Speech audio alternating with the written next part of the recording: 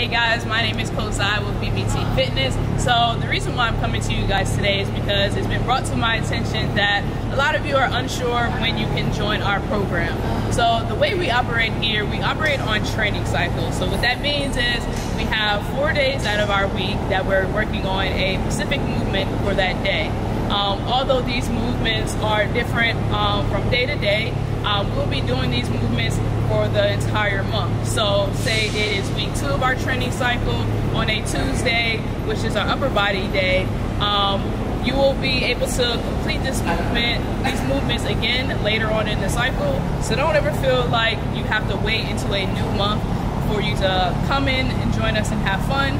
Thinking about this way, why would you wait for success to happen when you can have it today? If you want something, you're gonna go get it. Um, so keep fighting, come join us. We're gonna have fun. No matter where you come in our training cycle, we can find a spot for you and get you started today.